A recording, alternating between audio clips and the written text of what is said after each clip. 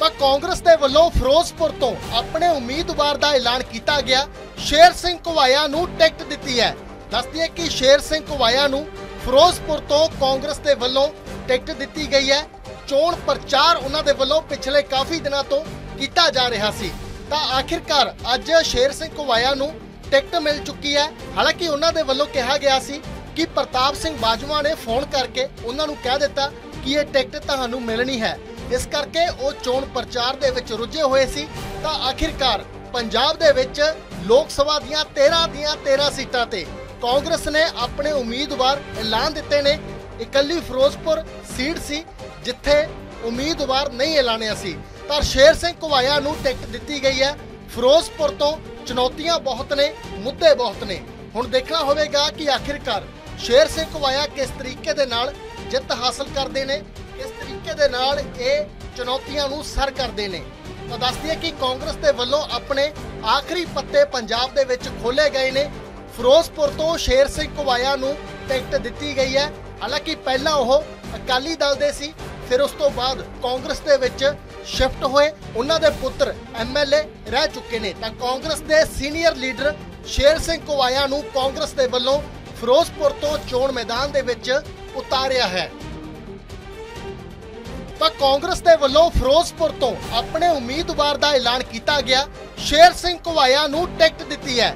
ਦੱਸਦੀ ਹੈ ਕਿ ਸ਼ੇਰ ਸਿੰਘ ਕੁਵਾਇਆ ਨੂੰ ਫਿਰੋਜ਼ਪੁਰ ਤੋਂ ਕਾਂਗਰਸ ਦੇ ਵੱਲੋਂ ਟਿਕਟ ਦਿੱਤੀ ਗਈ ਹੈ। ਚੋਣ ਪ੍ਰਚਾਰ ਉਹਨਾਂ ਦੇ ਵੱਲੋਂ ਪਿਛਲੇ ਕਾਫੀ ਦਿਨਾਂ ਤੋਂ ਕੀਤਾ ਜਾ ਰਿਹਾ ਸੀ। ਤਾਂ ਆਖਿਰਕਾਰ ਅੱਜ ਸ਼ੇਰ ਸਿੰਘ ਕੁਵਾਇਆ ਨੂੰ ਟਿਕਟ ਮਿਲ ਚੁੱਕੀ ਹੈ। ਹਾਲਾਂਕਿ ਉਹਨਾਂ ਦੇ ਵੱਲੋਂ ਕਿਹਾ ਗਿਆ ਸੀ ਕਿ ਪ੍ਰਤਾਪ ਸਿੰਘ ਬਾਜਵਾ ਨੇ ਫੋਨ ਕਰਕੇ ਉਹਨਾਂ ਨੂੰ ਕਹਿ ਦਿੱਤਾ ਕਿ ਇਹ ਟਿਕਟ ਤੁਹਾਨੂੰ ਮਿਲਣੀ ਹੈ। ਇਸ ਕਰਕੇ ਉਹ ਚੋਣ ਪ੍ਰਚਾਰ ਦੇ ਵਿੱਚ ਰੁੱਝੇ ਹੋਏ ਸੀ, ਤਾਂ ਆਖਿਰਕਾਰ ਪੰਜਾਬ ਦੇ ਵਿੱਚ ਲੋਕ ਸਭਾ ਦੀਆਂ 13 ਦੀਆਂ 13 ਸੀਟਾਂ ਤੇ ਕਾਂਗਰਸ ਨੇ ਆਪਣੇ ਉਮੀਦਵਾਰ ਐਲਾਨ ਦਿੱਤੇ ਨੇ। ਇਕੱਲੀ ਫਿਰੋਜ਼ਪੁਰ ਸੀਟ ਸੀ, ਜਿੱਥੇ ਉਮੀਦਵਾਰ ਨਹੀਂ ਐਲਾਨਿਆ ਸੀ। ਪਰ ਸ਼ੇਰ ਸਿੰਘ ਕੁਵਾਇਆ ਨੂੰ ਟਿਕਟ ਦਿੱਤੀ ਗਈ ਹੈ। ਫਿਰੋਜ਼ਪੁਰ ਤੋਂ ਚੁਣੌਤੀਆਂ ਬਹੁਤ ਨੇ, ਮੁੱਦੇ ਬਹੁਤ ਨੇ। ਹੁਣ ਦੇਖਣਾ ਹੋਵੇਗਾ ਕਿ ਆਖਿਰਕਾਰ ਸ਼ੇਰ ਸਿੰਘ ਕੁਵਾਇਆ ਕਿਸ ਤਰੀਕੇ ਦੇ ਨਾਲ ਜਿੱਤ ਹਾਸਲ ਕਰਦੇ ਨੇ ਕਿਸ ਤਰੀਕੇ ਦੇ ਨਾਲ ਇਹ ਚੁਣੌਤੀਆਂ ਨੂੰ ਸਰ ਕਰਦੇ ਨੇ? ਤਾਂ ਦੱਸਦੀ ਹੈ ਕਿ ਕਾਂਗਰਸ ਦੇ ਵੱਲੋਂ ਆਪਣੇ ਆਖਰੀ ਪੱਤੇ ਪੰਜਾਬ ਦੇ ਵਿੱਚ ਖੋਲੇ ਗਏ ਨੇ। ਫਿਰੋਜ਼ਪੁਰ ਤੋਂ ਸ਼ੇਰ ਸਿੰਘ ਕੁਵਾਇਆ ਨੂੰ ਟਿਕਟ ਦਿੱਤੀ ਗਈ ਹੈ।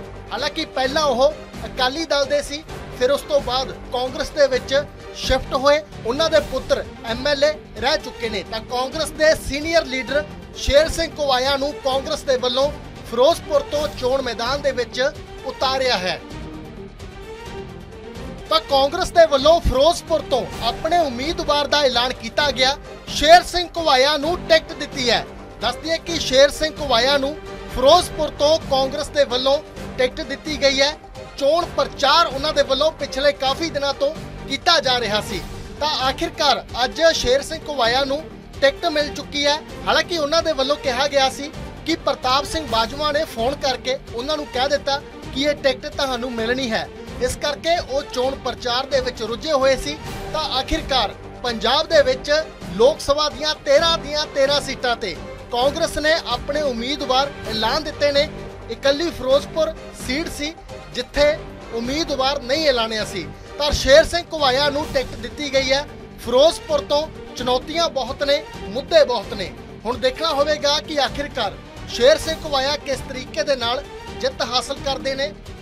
ਤਰੀਕੇ ਦੇ ਨਾਲ ਇਹ ਚੁਣੌਤੀਆਂ ਨੂੰ ਸਰ ਕਰਦੇ ਨੇ। ਤਾਂ ਦੱਸਦੀ ਹੈ ਕਿ ਕਾਂਗਰਸ ਦੇ ਵੱਲੋਂ ਆਪਣੇ ਆਖਰੀ ਪੱਤੇ ਪੰਜਾਬ ਦੇ ਵਿੱਚ ਖੋਲੇ ਗਏ ਨੇ। ਫਿਰੋਜ਼ਪੁਰ ਤੋਂ ਸ਼ੇਰ ਸਿੰਘ ਕੁਵਾਇਆ ਨੂੰ ਟਿਕਟ ਦਿੱਤੀ ਗਈ ਹੈ। ਹਾਲਾਂਕਿ ਪਹਿਲਾਂ ਉਹ ਅਕਾਲੀ ਦਲ ਦੇ ਸੀ, ਫਿਰ ਉਸ ਤੋਂ ਬਾਅਦ ਕਾਂਗਰਸ ਦੇ ਵਿੱਚ ਸ਼ਿਫਟ ਹੋਏ। ਉਹਨਾਂ ਦੇ ਪੁੱਤਰ ਐਮਐਲਏ ਰਹਿ ਚੁੱਕੇ ਨੇ। ਤਾਂ ਕਾਂਗਰਸ ਦੇ ਸੀਨੀਅਰ ਲੀਡਰ ਸ਼ੇਰ ਸਿੰਘ ਕੁਵਾਇਆ ਨੂੰ ਕਾਂਗਰਸ ਦੇ ਵੱਲੋਂ ਫਿਰੋਜ਼ਪੁਰ ਤੋਂ ਚੋਣ ਮੈਦਾਨ ਦੇ ਵਿੱਚ ਉਤਾਰਿਆ ਹੈ।